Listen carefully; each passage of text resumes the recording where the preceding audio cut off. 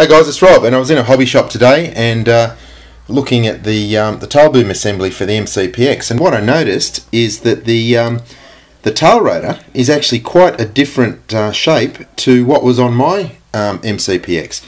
And I've taken the two off, and you can see this one here, the one uh, at the bottom, is the original tail rotor, and the one at the top is the new one that is coming with these um, with these tail boom assemblies. So it's uh, slightly longer and got a slightly narrower chord. So um, I'm really interested to see if that makes any difference at all, and I'm sure it does to the um, the tail blowing out on this little helicopter. So I'm very keen to try that, and uh, I'll give you a report shortly. But also, while I was in there, I uh, picked up one of these, and it's the um, the Blade MCPX carry and display case. So uh, that'll come in handy. You can put in your charger and about looks like nine batteries and um, the wall adapter so that'll come in handy when I go over to uh, Montreal in a few weeks time. Thanks for watching.